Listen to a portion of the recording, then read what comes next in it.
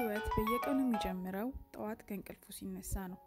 ከእንቅልፋችን ስንነሳ ሞተን እንደተነሳን ሰው አዲስ ህይወት የምንጀምርበት አዲስ ቀን ላይ ራሳችን እናገኛለን።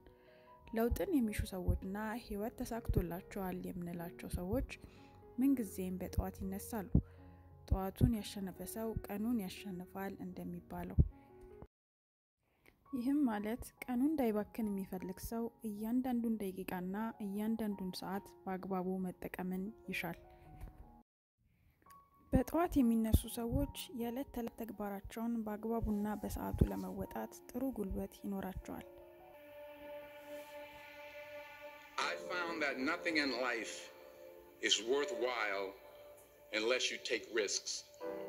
nothing Nelson Mandela said, There is no passion to be found playing small. ከአልጋችን እንደተነሳን የመጀመሪያ የምናደርገው ነገር መሆን ያለበት አልጋችንን ማንጠፍ ነው። ብዙዎቻችሁ እንደምታደርጉት ገምታለሁ። የማናደርግ ካለን ግን ከቀናችን ላይ ሁለት ደቂቃ ወስደን እናንጥፍ። ምክንያቱም ብዙ ጥናቶች እንደሚያረጋግጡት ይህ የተሳካላቸው ሰዎች ባህሪ ነው። አልጋን መንጠፋችን የሚረዳን ነገሮችን በተስተካከለ ሁኔታ እንድንፈጽም እለት ተዕለት ያስተምረናል፣ ወይንም excellence የምንለው ደረጃ ላይ ያስቀምጠናል።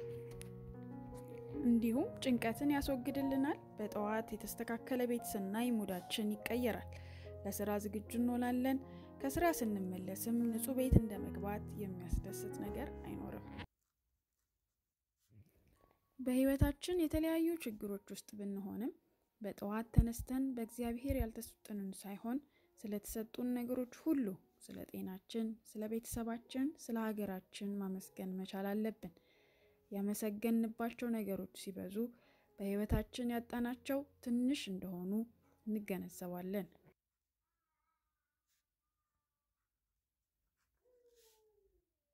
ስኬታማ ሰዎች ራሳቸውን እጅጉን አድርገው ይንከባከባሉ። ንጽህናን ከመጠበቅ አንስቶ እስከ አለባበሳቸው እንዲሁም እስከ አመጋገባቸው ይጨነቃሉ።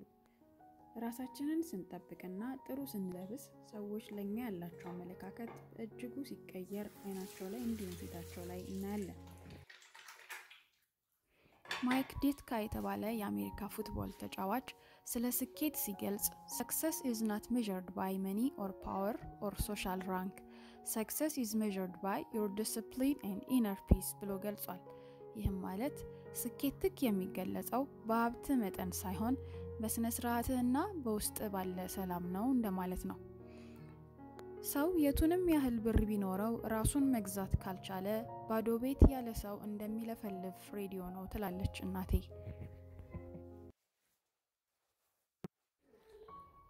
ህይወት ደብዛዛ ስትሆንብንና ጣሟን ስታጣ ህይወታችን ለውጥ የሌለው ዝም ብሎ በአንድ መስመር የሚጓዝ የመሰለለት ያን ቀን መለወጥን መሻት ያለብን ቀን ነው። ለውጥን ለማግኘት ከሰማይ የሚወርድን መናን መጠበቅ የለብንም።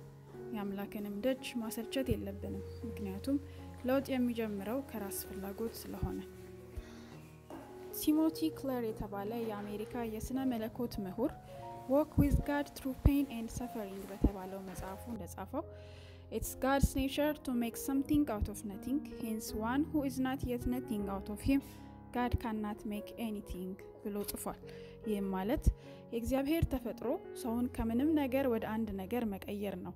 ነገር ግን ራሱን እንደምንም ነገር አድርጎ የሚቆጥርን ሰው ለማንሳት እግዚአብሔር ይቸግረዋል ይላል። ከዚህ መጽሐፍ የምንረዳው ለውጥን የፈለገ ሰው ከእግዚአብሔር ብቻ የሚጠብቅ ሳይሆን ለውጥን ለማምጣት የሚጥር እንዲሁም ጥረቱን እንዲባረክለት ወደ እግዚአብሔር የሚጮህ ነው። ታም ክላሪ የሚባል ጸሐፊ በራሳቸው ጥረት ሀብታም የሆኑ ወይንም self made millionaires የምንላቸውን ለአምስት ዓመታት ጥናት አድርጎባቸዋል። በዚህም ጥናቱ የደረሰበት 50 percent የሚሆኑት ጠዋት የሚነሱት ስራ መግባት ካለባቸው ሰዓት ሶስት ሰዓት ቀደም ብለው ነው። ኦፕራ ዊንፍሪ ከጠዋቷ አንድ ሰዓት ለስፖርት ትሰጣለች። ስቲቭ ጃብስ ጠዋቱን የሚጀምረው ራሱን ጥያቄ በመጠየቅ ነው።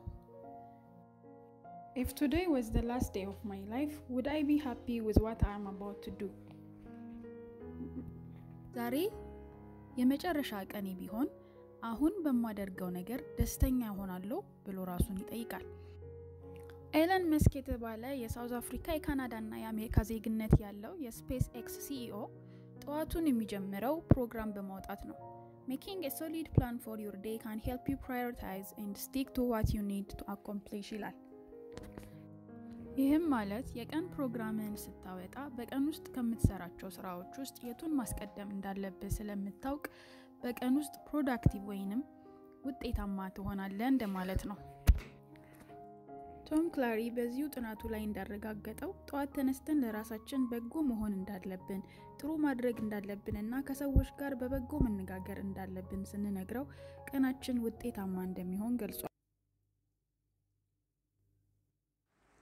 ክሌር ካርሊ የተባለች ጸሐፊ how to make it through work day በተባለው ጽሁፏ ላይ እንዳስቀመጠችው እኛ አመጋገባችንን እንመስላለን ትላለች። we are what we eat በቀን ውስጥ ከምንመገበው ምግብ 20 percent የሚሆነው ካሎሪ አንጎላችን ይወስደዋል። ስለዚህ አመጋገባችንን ማስተካከል በቀን ውስጥ ውጤታማ ለመሆን እጅጉን ጠቃሚ ነው ትላለች። እንደዚች ጸሐፊ መዘለል የሌለበት ምግብ ቁርስ ነው ትላለች። ቁርስን የዘለለ ሰው ጥሩ ከሰዓት አይኖረውም። ቁርስን ከተመገብን ግን የተስተካከለ ጤንነትና productive እንሆናለን።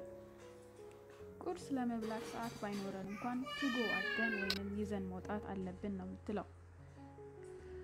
በጥናት እንዳረጋገጠችው ተመራጭ የቁርስ አይነቶች የሚባሉት ከወተት ተዋጽኦ ምግቦች yogurt ና ወተት እንደዚሁም ፕሮቲን ካላቸው ምግቦች እንቁላልና የሎዝ ቅቤ፣ whole grain የምንላቸው ወይም ጥራጥሬ ከምንላቸው cereal፣ አጃ እንደዚሁም የተጠበሰ ዳቦ እንደዚሁም ፍራፍሬና አትክልት ሁሉንም አይነት ፍራፍሬና አትክልት መመገብ ጠቃሚ ነው ትላለች።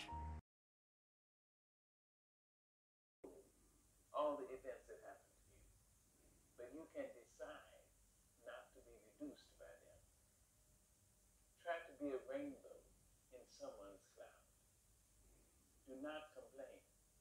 Make every effort to change things you do not like. If you cannot make a change, then change the way you've been thinking. You may find a new solution. Never whine. Whining lets the brute know that a victim is in the neighborhood.